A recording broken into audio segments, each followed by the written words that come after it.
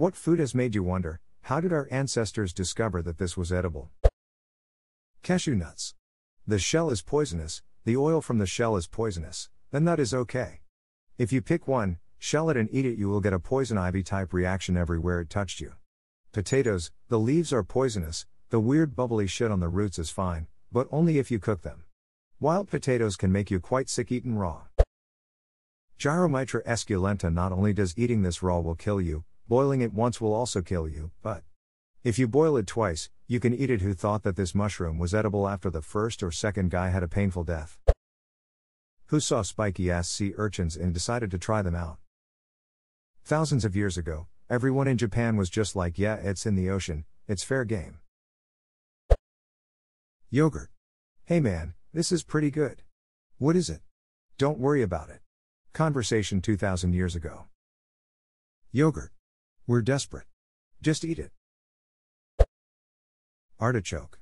Let's take that spiky ass weed that makes your hands taste bitter for days and boil it for an hour or two so we can scrape a tiny bit, if nothing, off the leaves with our teeth. How hungry was that dude? Edit, to be clear, I love artichokes. And they do not require butter or mayo to be delicious. I was at a business lunch as a grown ass man in my 40s, having never eaten artichoke, and the other guy orders a grilled one as an appetizer.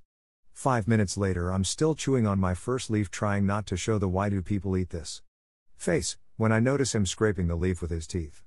That information would have been very valuable ahead of time. I made artichokes a while back, my old roommate, in his 30s, had never had them and wanted to try.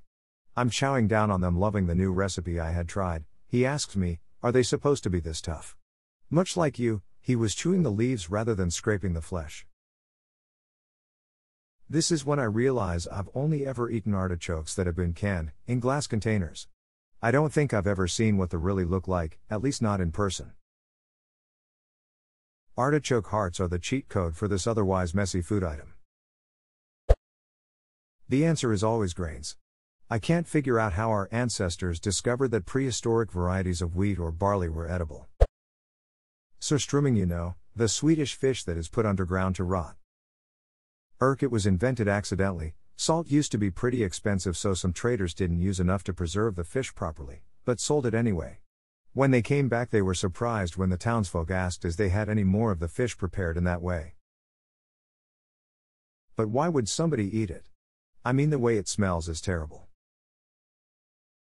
Starving people don't have much choice, I'd imagine it's the same way cheese was discovered. We Swedes were desperate for a tradition, so we ate old fish. Ha ha ha, sounds like something one of my old uncles would say to mess with the kids. Cheese. Who was like, I'm gonna eat the solidified part of this bad milk? And the process to make cheese is so complicated I can't figure out how it was discovered in the first place. It's really not that complicated if you understand how we used to preserve food before refrigerators, or sedentary society. You boil it, salt it, and pour it in a container that's portable, which in this case was probably the lining of a goat ancestor's stomach. Someone did that to expired milk and a somewhat edible goop came out. Then we spent 10,000 more years perfecting it and now it's goddamn delicious. The storage was the key. Using TH stomachs of sheep, cows, etc., there was rennet in the stomach which helps to make the harder cheeses. Also, sometimes you're starving and only have off milk. Surely there must be a beverage of some sort as well. Perhaps the spoiled juice from those grapes will suffice?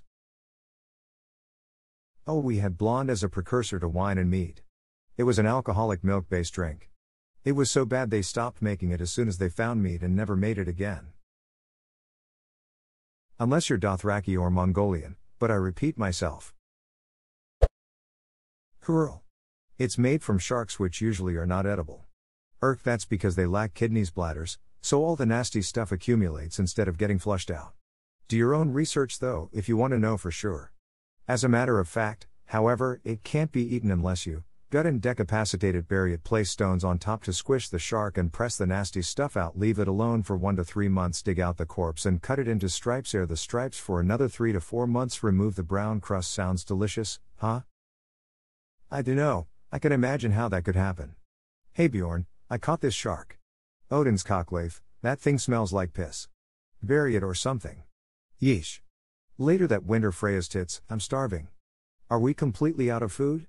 Well, there's that nasty poison garbage shark Leif buried a while back. Guess we could dig it up and give it a shot. Worst case, we die of moldy shark poisoning, I guess. Hand me a shovel and a fork, Eric.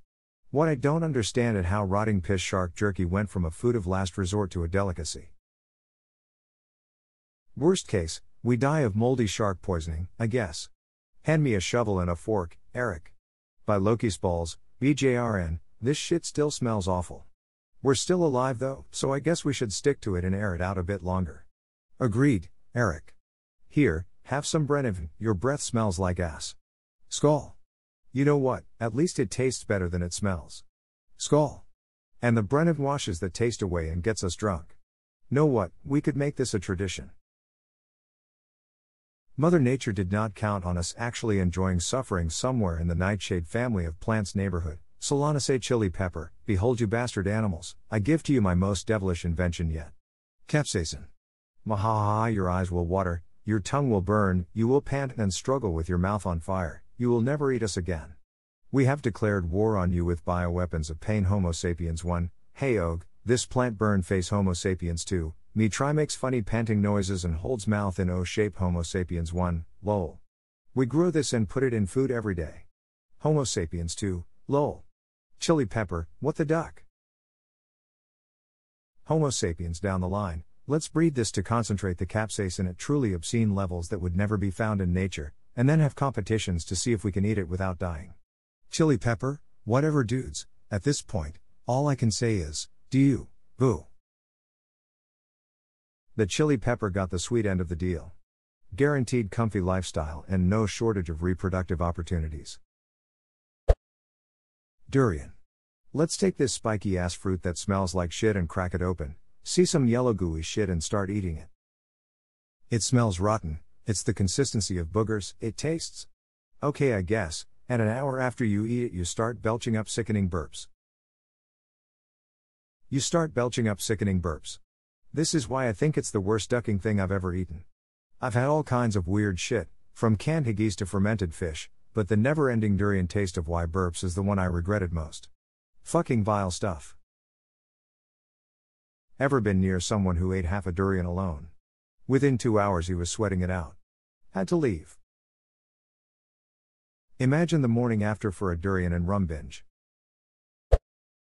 Ass. Smells like S correct. The face that poor man made, I died a little inside for him. Civet coffee. Although more of a recent discovery, 18th century.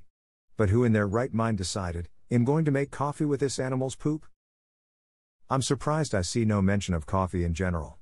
How on earth did people figure out to pick the berries, ferment them, dry them, roast them, grind them, put that into boiling water, filter it out again, and drink the fluid? Arabian herders saw their goats eating coffee berries and acting energized afterwards. People began eating the berries. It took a long time before they learned to just boil the bean. I believe this is the accurate coffee origin story. The Arabian herders were Ethiopians. That explains why Ethiopians love coffee.